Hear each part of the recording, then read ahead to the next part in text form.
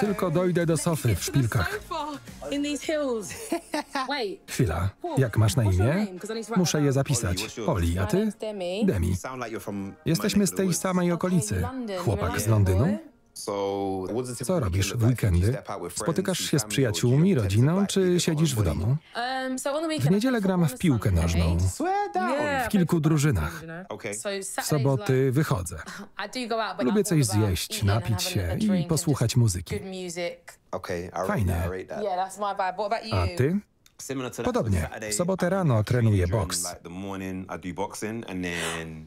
Ja też boksuję. Gram w piłkę nożną i uprawiam boks.